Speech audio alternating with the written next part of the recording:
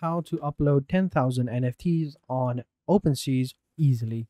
Hi guys, welcome back to another video. And in this video, I'm going to be telling you how you can upload 10,000 NFTs to OpenSeas using a bot. So having said that, let's just jump into the video.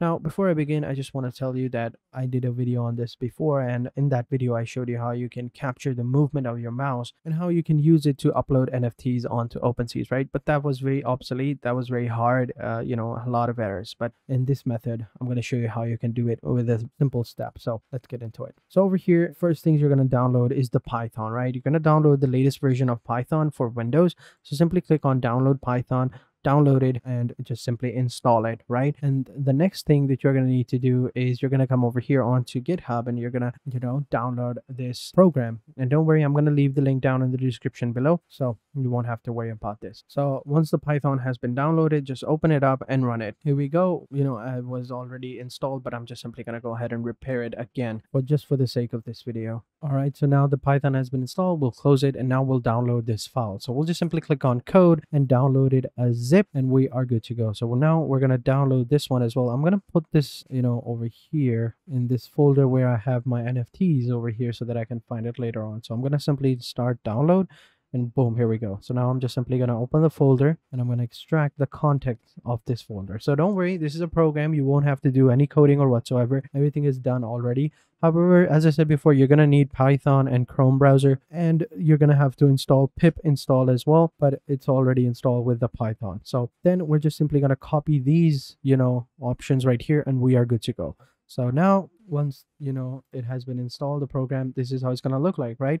So pretty simple right? Nothing too crazy. Now what we're going to do is we're going to open up our command prompt over here. We're going to run it. Now what i'm going to do is i'm going to copy the you know directory where i have this program right? So this is the folder. I'm just simply going to copy the directory and i'm going to come over here and i'm going to enter cd and i'm going to paste the directory and i'm going to click on enter now what we need to do is we need to come over here onto GitHub and we need to copy this text file.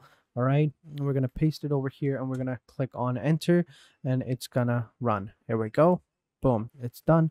Now we just need to run the script over here. We'll copy this one right here, this text, and we'll paste it over here and click on run and boom, here we go. So this is the program right here. This is how it looks like, as you can see. Now what we need to do is we need to input the location. So over here, we need to enter in the OpenSea collection link over here.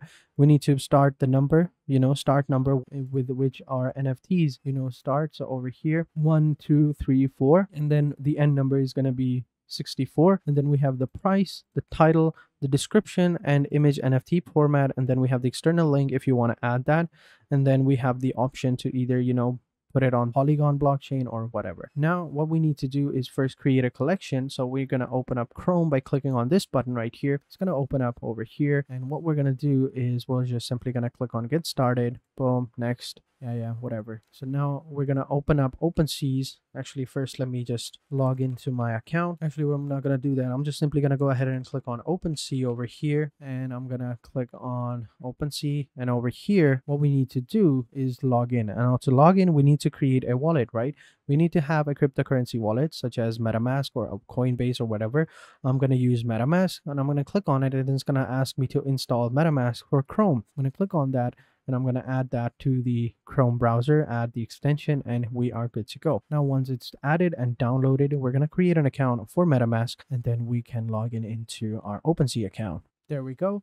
We're going to turn on sync for now and we gotta log in into our account as well okay? So now we just simply click on get started and now we have the two option in front of us. So if you already have a wallet just simply click on import wallet with the secret recovery phase or if you don't have one you can create a wallet over here. So i already have a wallet so i'm gonna click on import and i'm gonna add in my secret recovery phrase over here and we are good to go. And boom we are good to go. So we're all done. We are now logged into our metamask account. Now we just go back to OpenSeas and reload the page over here and now we just input our wallet our metamask wallet over here. It's going to open up the notification and then we just simply click on connect and it's going to connect to OpenSea's account. Boom there we go. Now what we can do is we're going to click on our profile and we're going to go over to my collection and create a new collection. So we're going to click on create a collection and over here i'm going to sign the transaction real quick and now we are good to go. So over here just input the logo image the featured image and the banner image if you have one So just open up the logo image over here. Just gonna put the image of my NFT. Then I'm gonna feature this image and then I'm gonna put uh, the banner image. I don't have the banner image, so I'm gonna leave it blank for now. And then we're gonna name the collection. So I'm gonna call it not crypto punks. I'm gonna copy the name as well. And then we have the URL over here. Not so crypto punks. Maybe that is available. There we go. We're gonna paste that over there. And now we have the link. Then we can add in the description and the category and we are good to go, right? So now we're gonna change it to Polygon and here we go. Now we just add the token USDC or DAI and now we are good to go. So I guess I really have to enter not so crypto punks. There we go. Guess I really have to upload the banner image as well. So I'm just simply gonna choose that image. And now we just simply click on create wait for it to be created and we can move on. There we go. The collection has now been created. Now what I'll do is I'll open up the program. There we go. And I'm going to enter in the title. There we go. Not so crypto punks over here. And then over here, we're going to add in the link to our collection at the top. Then we're going to stick with the start number. So the start number is 1 and the end number is 64. Start number is 1 and number is 64 and the price is going to be 0 0.05 and then over here we can add the description and image format is WEBP, WEBP. And then you have your external link if you want to, and I'm going to check the polygon box. Now over here you can write anything you want and we are good to go. And now we just simply click on start and it should work. So once you click on start we are good to go. Okay so i think we have to add the external link as well. So i'm just simply gonna add in my own website's link. Now we just simply save the form and click on start. Okay, I forgot to mention we also have to upload the NFT upload folder as well. Otherwise it's not going to work. So we're going to click over here. Now we're going to choose the folder where our NFTs are at. So over here on pictures, NFTs, assets. So we're going to select that folder and now we should be good to go. Now if I click on start, it should work. So just wait for a couple of seconds it's not responding. It should work. I have tried this before. It did work previously. So hopefully it'll work again. So over here as you can see it's happening. It's creating the collection and it's uploading the images over here and it's working i think. Over here yeah. There we go. Is it working? I think so. It opened up the tab. It should work now let's see it was working right now okay maybe i had messed it up a little bit because i clicked it away from it but uh it should work. Let's see it opened it up it added all of the things over here and even added the image. Okay one minute i think i know what happened.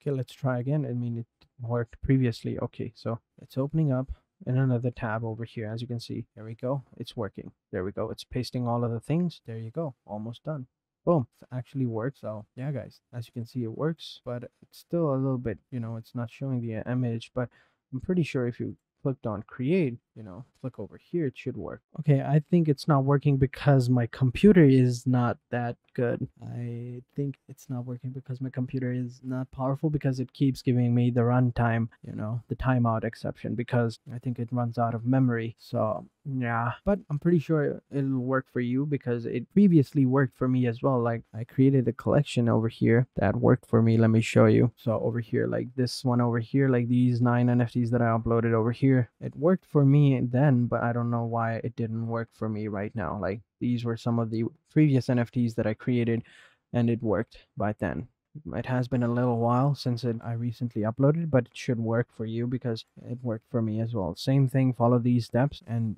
you are good to go. So that is it for this video, guys. I hope you guys enjoyed this video. And if you have any questions, let me know in the comment sections down below and I'll be sure to answer them as soon as possible. So having said that, I will catch you guys in the next video. And until then, take care and goodbye.